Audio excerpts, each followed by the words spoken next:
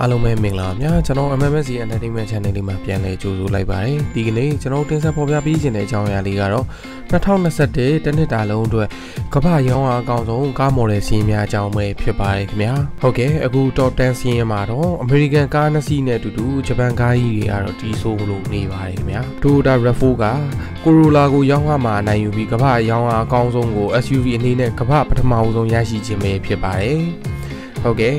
Toyota Hilux ကတော့နောက်ပိုင်းစည်းကွက်မှာရောင်းအားများတက်လာခဲ့ပြီးထိပ်တန်းစင်းသို့ရောက်လာကတော်တန်းစင်းနဲ့သို့ဝင်ရောက်နေပါတယ်ခင်ဗျာလျှက်စစ်ကားများဖြစ်တဲ့ Tesla Model 3ဟာကမ္ဘာပထမအဆုံးကြိမ်တော်တန်းစင်းနဲ့သို့ပါဝင်လာပြီး2022ခုနှစ်အကုန်မှာတော့ Top 5တဲဒီပါဝင်လာနိုင်ကြောင်းခံမှန်းကြည့်တွေကတော့အသီးသီးထွက်ပေါ်လာခဲ့ပါတယ်ထိုနည်း၎င်းပဲ Tesla Model Y ဟာလည်းပဲ Top 20ရဲ့ပါဝင်လာပြီး2020အတွင်းရောင်းအားတက်မှုကြောင့် Tesla Model 3ကိုကျော်တက်နိုင်ခြေရှိတယ်လို့လည်းခံမှန်းထားကြပါတယ်ဟုတ်ကဲ့တရုတ် EV များဖြစ်တဲ့ Wuling Hongguang Mini ကတော့အဆင့်20မှာရပ်တည်နေပြီးကားသေးသေးလေးတွေလည်းထိပ်တန်း list ထဲမှာအောင်မြင်မှုကြီးကြီးမားမားရရှိနိုင်ကြောင်းသက်သေပြလာတာကိုတော့တွေ့ရပါတယ်ခင်ဗျာတစ်နှစ်ထဲမှာတော့အစီးရေ၄သိန်းနီးပါးရောင်းချခဲ့ရတာပဲဖြစ်ပါတယ်ခင်ဗျာ Harvey Ace ဟာတစ်နှစ်အတွင်းအစီးရေ3သိန်း8000ရောင်းချရမှုကြောင့် Master C8 နဲ့ကက်လျက်အဆင့်22ကိုရောက်ရှိလာတာပဲဖြစ်ပါတယ် Suzuki Swift ဟာတစ်နှစ်အတွင်းအစီးရေ3သိန်း9000ရောင်းရတာကြောင့်အဆင့်34နေရာမှာရပ်တည်နေပါတယ်ခင်ဗျာဟုတ်ကဲ့ကျွန်တော်တို့အသေးဆွဲ Honda Fit ကတော့ကမ္ဘာအဆင့်54နေရာမှာသာရှိနေပြီး Nissan Sunny ကတော့အဆင့်53နေရာမှာတော့ရောက်ရှိနေပါတယ်ခင်ဗျာ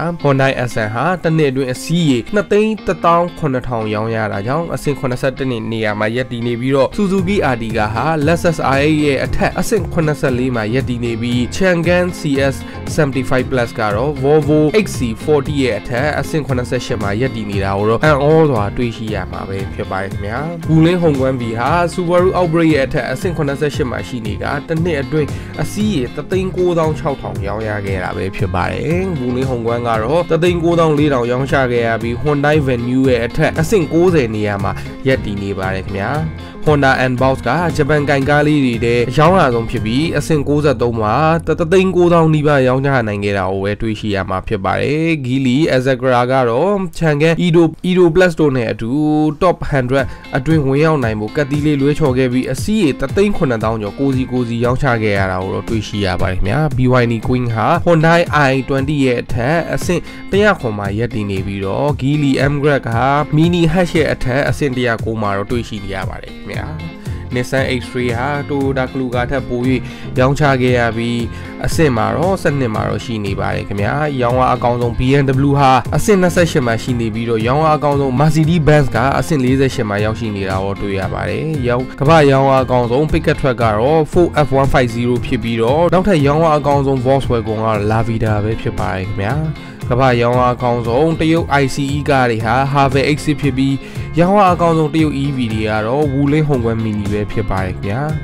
ရောင်းအားအကောင်းဆုံး Hyundai က Avanti ဖြစ်ပြီးတော့ရောင်းအားအကောင်းဆုံး Suzuki ကတော့ Swift ပဲဖြစ်ပါတယ်ခင်ဗျာရောင်းအားအကောင်းဆုံး Honda အမျိုးအစားတွေကဆိုရင်တော့ CR-V ဖြစ်ပြီးတော့ကမ္ဘာရောင်းအားအကောင်းဆုံး KIA တွေကဆိုရင်တော့ Seltos ပဲဖြစ်ပါတယ်ခင်ဗျာ ရောင်းအားကောင်းဆုံး Nissan ကတော့ Sentra ဖြစ်ပြီးတော့ရောင်းအားကောင်းဆုံး Master အမျိုးအစားတွေရော CX5 ပဲဖြစ်ပါတယ်ခင်ဗျာဟုတ်ကဲ့ဒီထဲမှာဆိုရင်တော့ကြီးမားစွာဆုံးရှုံးမှုတွေဖြစ် American Pickup Truck အကြီးကြီးတွေဟာအဆင့်ရော့ကြခဲ့ပြီး EV အကူပြောင်းမှာ EV Pickup တွေကြောင့်ပြန်ရောင်းအားတက်လာနိုင်တာကိုတော့ခံမှန်းရရှိပါတယ် SUV လူကြိုက်များလာမှုကြောင့် Volkswagen Jetta Polo Golf ပတ်ဆက်တို့ ranking ရော့ကျသွားတာကိုလည်းတွေ့ရပါတယ်။ Chevrolet Enoff နဲ့ Wuling Hongguang နဲ့ Renault Clio တို့ဟာလည်းရခိုင်နှစ်နဲ့ရှင် ranking တော်တော်လေးကိုကျဆင်းခဲ့တာပဲဖြစ်ပါတယ်ခင်ဗျာ။ဟုတ်ကဲ့ကျွန်တော်အထပ်ပါဖော်ပြခဲ့တဲ့အကြောင်းအရာတွေကိုတော့မတိကျမှဆိုလို့တိုက်ရိုက်သွားကြည့်ချင်တယ်ဆိုရင်တော့အောက်မှာကျွန်တော် link လေးထည့်ပေးထားပါတယ်ခင်ဗျာ။ဟုတ်ကဲ့ဒီ link မှာတော့ကျွန်တော်တို့ဖော်ပြထားတာနိုင်ငံပေါင်း106နိုင်ငံမှာစီးရင်မှဖြစ်ပြီး69ရာခိုင်နှုန်းကျော်လွှမ်းခြုံမှုရှိတယ်လို့လည်းဆိုလိုထားတာကိုတွေ့ရပါတယ်ခင်ဗျာ။အားလုံးကိုကျေးဇူးတင်ပါတယ်ခင်ဗျာ咩啊！